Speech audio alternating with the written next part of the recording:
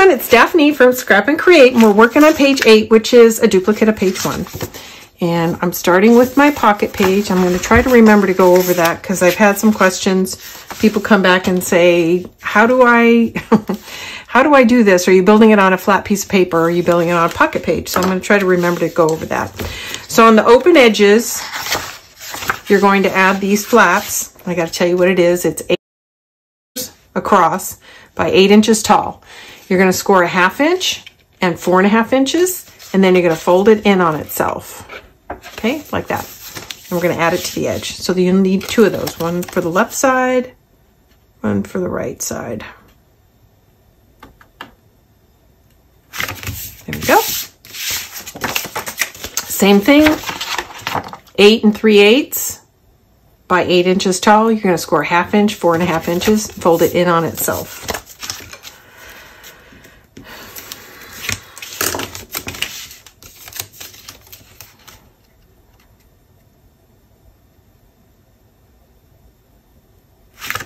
There we go. Lovely, lovely. Now you're going to have um, two of these, which are going to be like um, side pockets. And I'm going to use a decorative border to trim this out. But I'm not going to do that until I've picked out my designer paper, which I haven't done yet. So I want you to go ahead and cut these out, uh, cut this out and preserve it. Do not attach it to your flaps yet. These are four and a half inches wide by five inches tall. Four and a half by five on the four and a half inch side, you're going to score it half inch, so that makes it four inches wide. And then on the five inch side, you're going to score a half inch, so it's four and a half inches tall. And I came up with this size because I'm using a six inch die. And when I start my diagonal on a four inch wide panel, I mean, after I, I fold my score in, it's four inches wide. That's just where the where it naturally landed. So that's why it's five inches tall. You could make it shorter if you wanted, but I thought that that way I can use the full six inches. Um, I'm also going to show you what you can do if you don't have a die um, and want to um, still do a diagonal pocket, another way to achieve that. So you won't have to have a die. If you have a die, great. So go ahead and cut those out. Don't tape them and don't glue them down or uh, don't add tape and don't uh, adhere them to the flaps yet.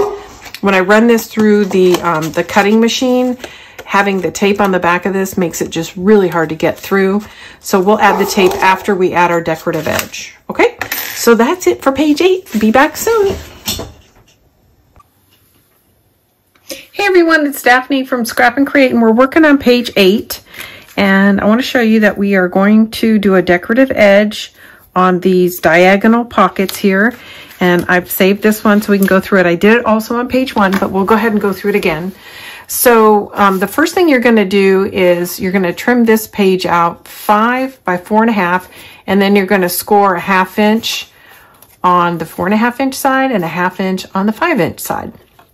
So when you're finished, you're going to have a four and a half by four inch uh, pocket or diagonal pocket. So then you're going to trim out your decorative paper. I like to use a 16th inch border.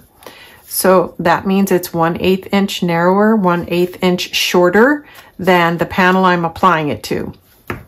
I'll move this so that you don't have all that busyness in the background. So once you have it trimmed out with the border that you prefer, then you're going to take that decorative paper and you're going to push it toward the open corner, the side that does not have flanges on it, okay?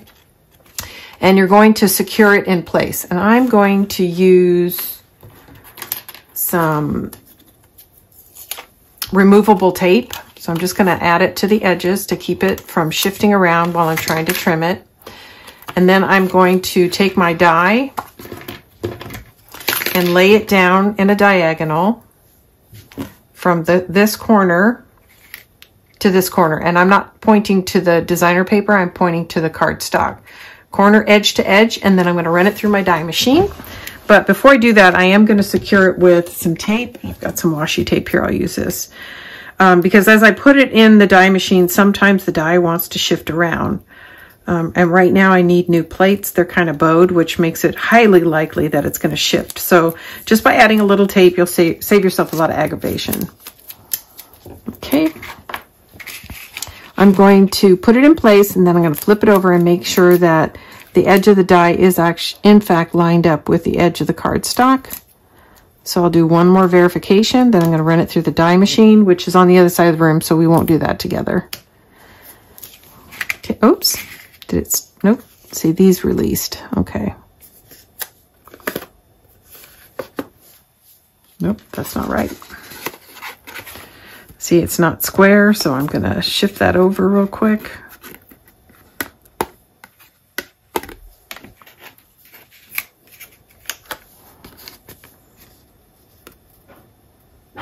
There we go. Okay, now I'm going to look for my die edges, and it's right exactly where it needs to be. I'm going to run it through the machine and be right back.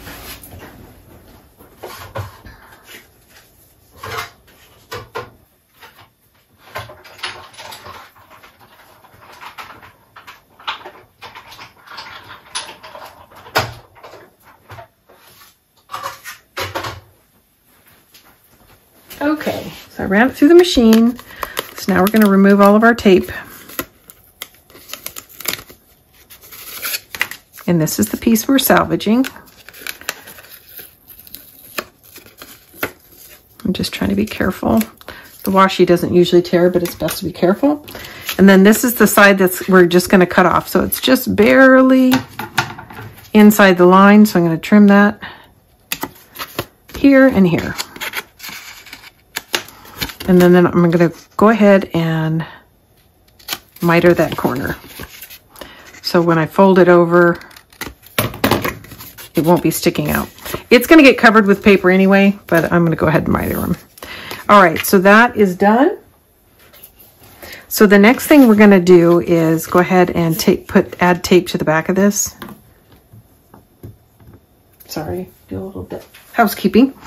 And um, the way I like to do it is the edge that's going to be sliding down, I want to um, be laid down first so that it doesn't necessarily get hung up on this one. It doesn't work perfectly, but it goes a long way to helping with that.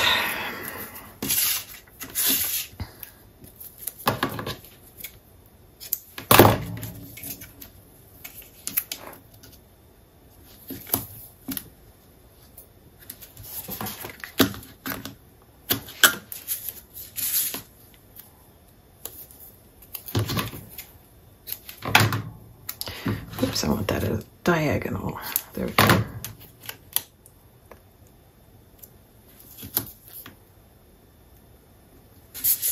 Okay, so that's ready.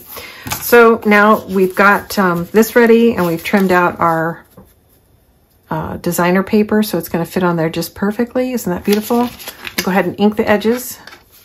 I don't like heavy ink. I just like to knock off the white core which isn't so obvious when I'm using a, a cream um, cardstock, but when you're laying it down on black cardstock, it really pops out at you, which I don't like. I don't want the focus to be on the edge of the paper. Okay, so that's ready to be laid down right here. And then this whole thing is um, pretty much ready to go on top of this flap. So we will install the pocket.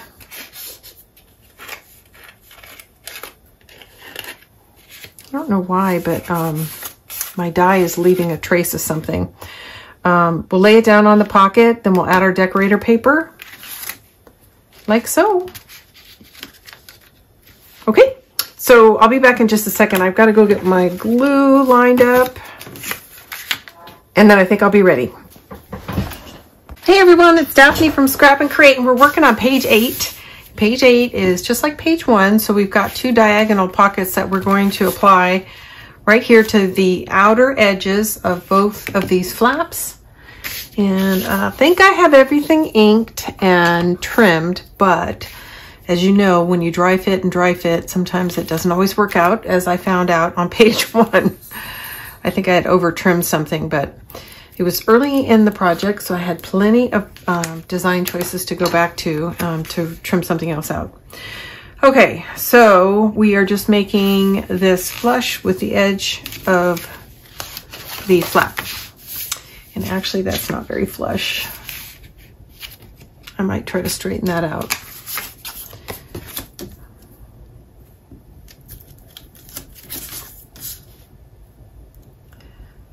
Especially since I haven't burnished it. But let's go ahead and get the left side in.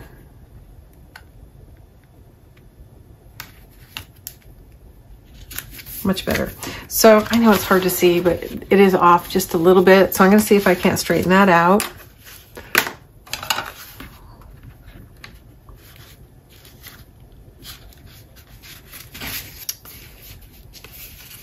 And let's see if I can make that work. Rather than lifting the whole thing off, this edge looks pretty good. So what I'm going to try to do is affect the score line, which might allow me to get it closer to where it needs to be.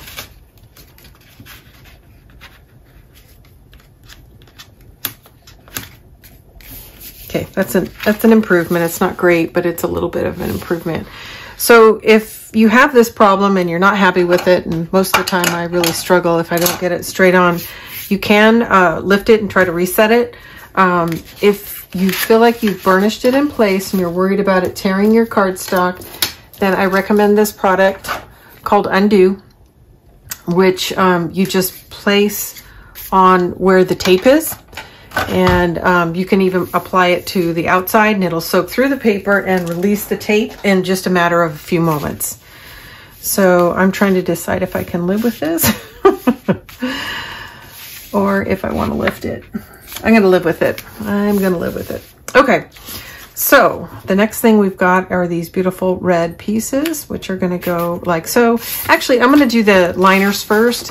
And one of the reasons like why I like to do the liners is then when I'm applying the designer paper here, it's easier for me to see the cream edge. It's not cream against cream. Well, hello, Nala. she came to say hello. And I'm trying to see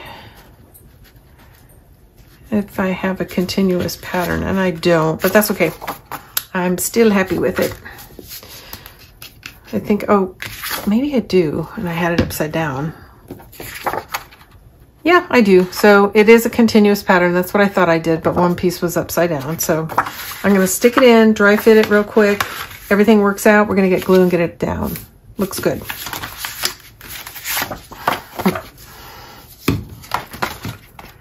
Hope everybody's doing well. It's a beautiful day here in San Diego. We are coming into some of the nicest weather of the year. Post spring, just a little, little before um, summer. It'll get hot here in the next couple months. So I got some exciting news this week. My son is graduating in June and they're actually going to have a graduation ceremony. They're going to have it at um, our our baseball stadium for the Padres, so it's going to have a lot of space around it. But I am so glad that he's going to get to participate in an actual ceremony and not a drive-by, which is what they did last year. And I felt so bad for the graduating class that they didn't get that milestone. But I'm, I'm thrilled that we are going to at least for the moment, unless things change, um, have some kind of a ceremony. So that's exciting. It's a big, it's a big deal.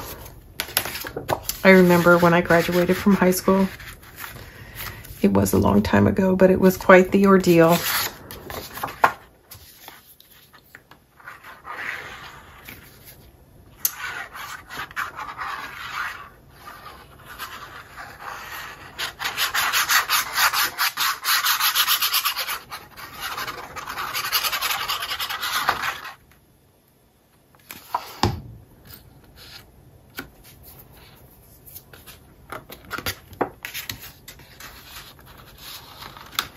So I didn't mention it, but I was leaving the leading edge, the edge that I'm pushing into the diagonal pocket without glue for a reason. It just makes it easier to get it in the pocket and have a little bit of time to maneuver before you put it down. Because the paper goes all the way into the pocket, there is really no risk of um, sticking something in the pocket and then having the designer paper follow it back out. So we're, we're good to go. I'm happy with that and it makes makes it a lot easier to um, wiggle it in, into its final location.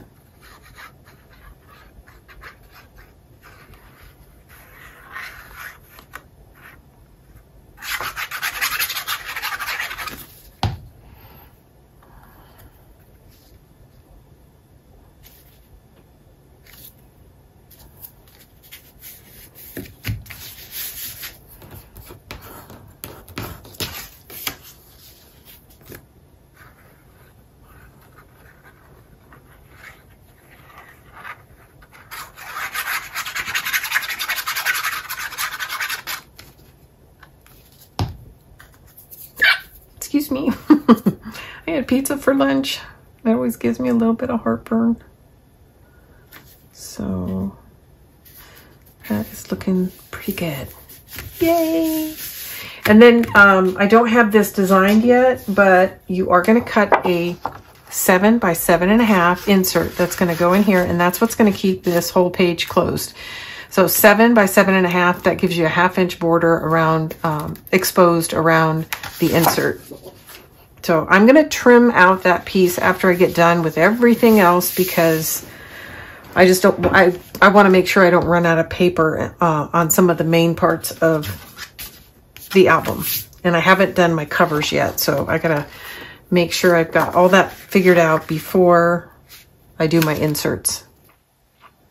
Okay, 8 by 8 and I forgot to tell you, 12 by 12, patterns and solids. Patterns and solids, 12 by 12, 8 by 8.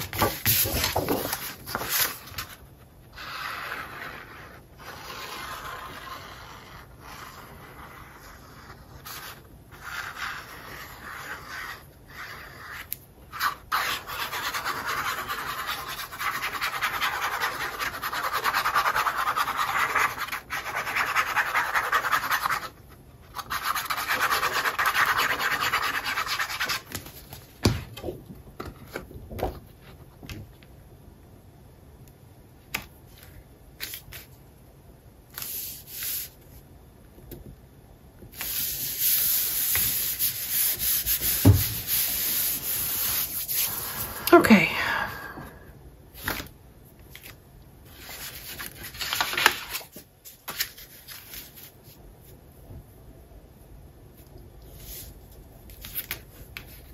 Okay. So I'm not completely sure which which side I want up and which side I want down. These definitely go on the outside edges. And then we're going to add these.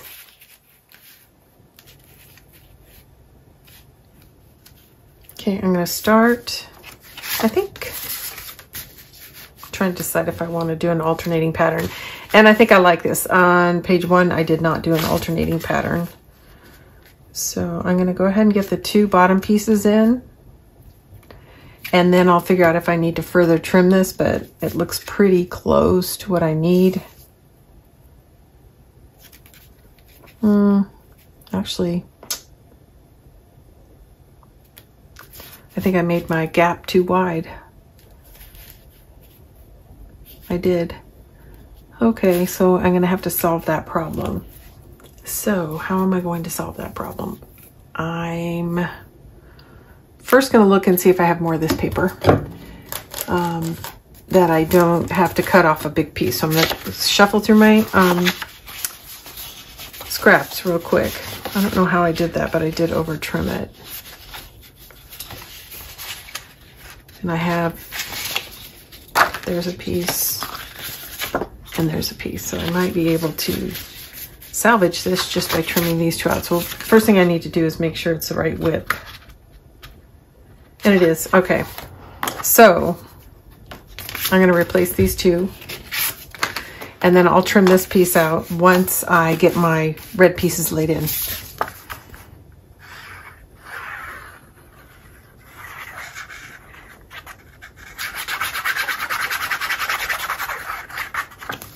mm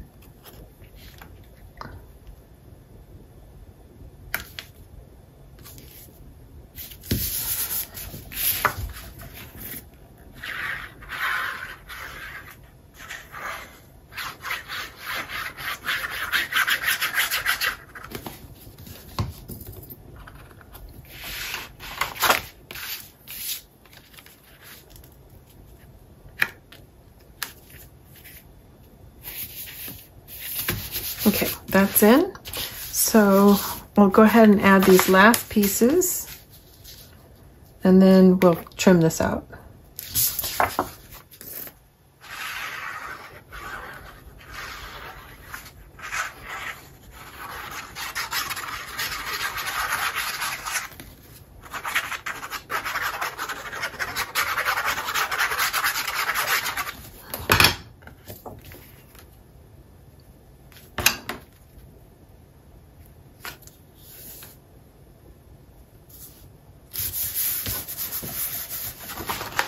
Okay.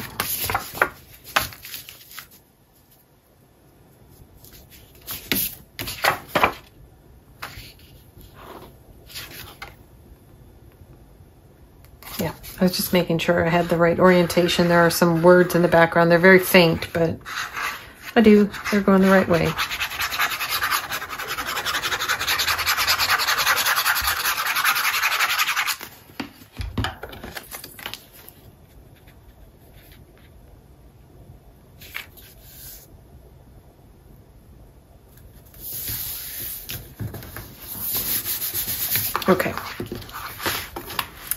Go ahead and lay down our blue pieces too because they're just floating around.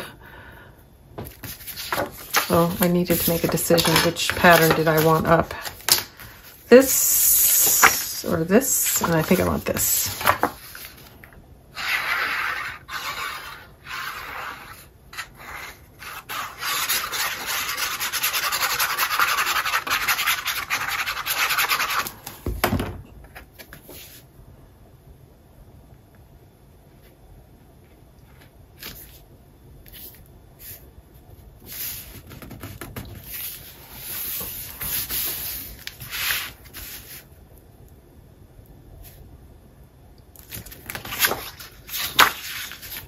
I'm just adding that so I can better see the border.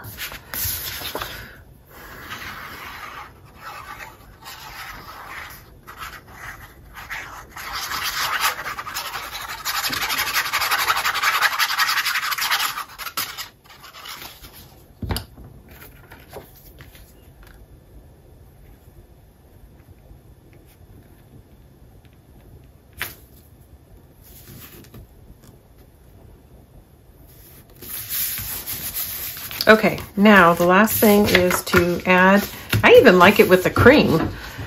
I might, we do, it does this, all the collections come with a, a cream cardstock, but um, I don't know. I don't think I'll do that.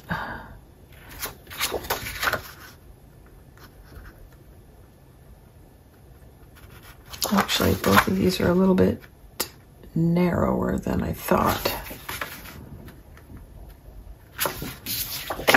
That may not work.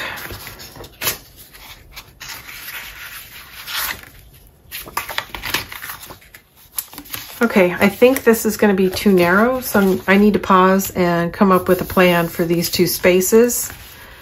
And then we will be done with page eight. So, so as far as the main part of the album, I still need to come up with a solution here and it will either, it'll be cream or red um, because I want it to coordinate. Um, I want these two panels to be monochromatic because there's so much pattern going on here. So I'll be back in a few minutes with these trimmed out and, um, and then we'll know what pattern we're going to use. So I'll be back in a few minutes. Okay, I managed to find uh, scraps that are going to fit in this space and I've trimmed them out and I've got ink on them. So, and I didn't have to cut into a 12 by 12. I had already had um, just enough of this left over from a previous, from cutting into a previous 12 by 12. And I think it was actually the cover of this, but I'm not sure. I have to look at it again. And this is from, pretty sure it's 12 by 12. Yes, it's 12 by 12.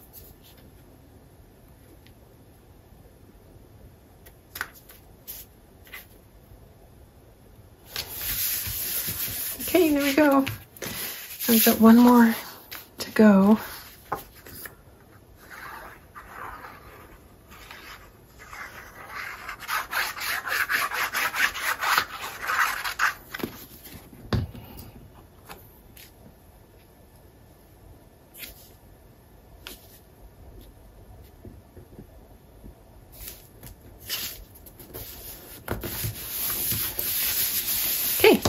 So that is the inside of page eight. I'm to close everything up. 12 by 12.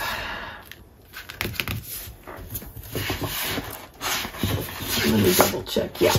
12, 12 by 12. Um, I don't know. I don't know. This patterns and solids. And this is from the 12 by 12, 8 by 8, 12 by 12, and 12 by 12 patterns and solids. Okay, so that's it. And then here's our seven by seven and a half inch insert, which I have not decorated. I will come back and do that um, before I finish up this video, but I'm not ready to do it right now because I haven't picked up my patterns. Okay, thanks everybody. It's Daphne, page eight. I'll be back soon and we'll cover the insert. Okay, everyone, um, I've decided I'm going to use the signature page for the insert on page 8. I just love this image and I had one left over. So this is from the 8 by 8 collection and I just trimmed it down to fit the 7 by 7.5 inch insert that holds page 8 together. So that is it for page 8. Um, I hope you guys enjoyed.